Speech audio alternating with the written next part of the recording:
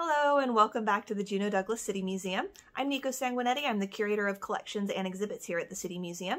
And today we're going to be talking a little bit about an interesting aspect of World War I that I stumbled across when I was doing research on a different project. I was looking through newspapers from World War I and kept coming across these announcements for what were titled the Four Minute Men, with then a list of men and a list of theaters in both Juneau and Douglas.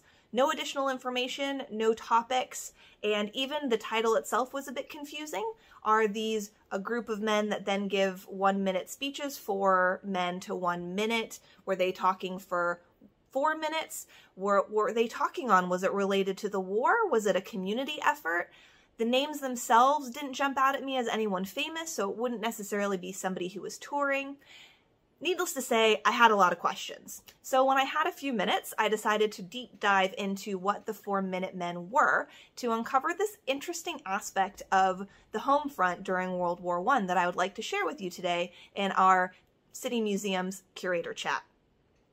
So World War I began in 1914 with the assassination of Archduke Franz Ferdinand by uh, Gavrilo Princip from the Serbian Black Hand and originally the United States remained neutral in the conflict, President Woodrow Wilson actually ran and won on a campaign of neutrality and had so far kept the United States out of the war. However, as we near 1917, it's becoming very evident that the conflict is a globe is on a global scale and was definitely impacting the United States and in seeing how the tide was going, it could very really negatively impact the United States with the outcome if they did not become involved.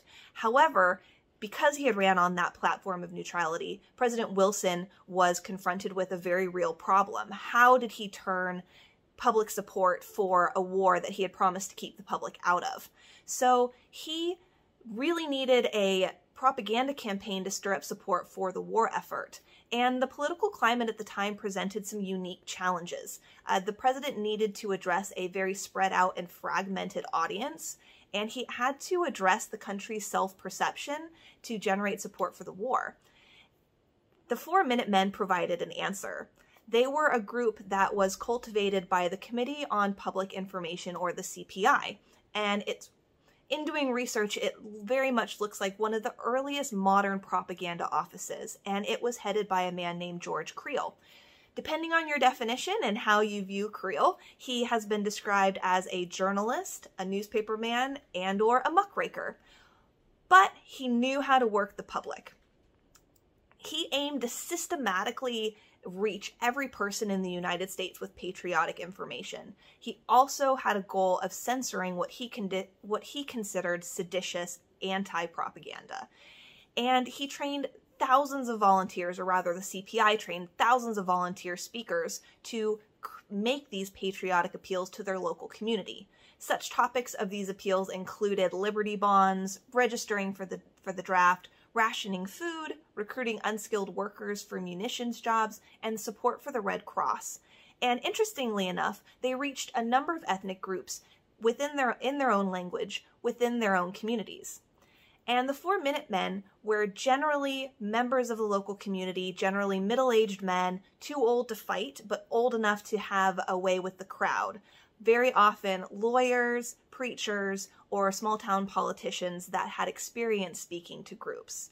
They were given general talking points, but then encouraged to create their own speeches. And they were limited to four minutes, as that was the general average time that it took to switch reels in a moving picture house, which is why I was seeing them being housed in these theaters we already had a contained audience in these uh, movie theaters, and they had four minutes of time where they weren't going to be doing anything and they were going to be paying attention to whoever was sitting in front of them.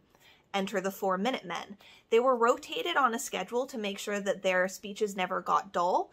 They were meant to speak from the heart, so their speeches didn't sound rehearsed or something that was just churned out by a propaganda machine. And they were very successful because they were able to represent a community voice as well as a community language, depending on what community they were coming from.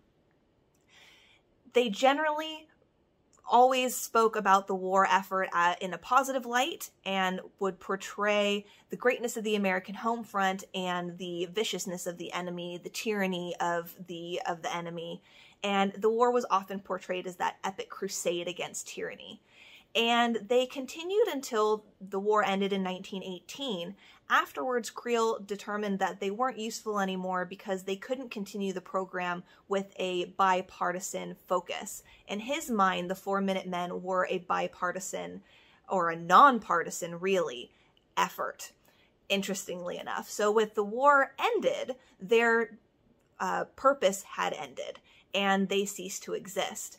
And here in Juneau, they appeared in about December 1917 and continued through the end of the war in 1918.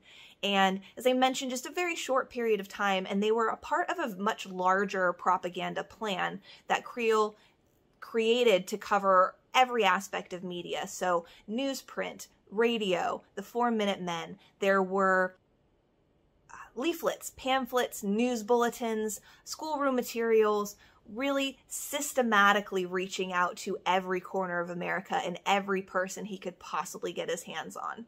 So, a very early attempt at creating this positive view and create support for a war that previously no one had any interest in.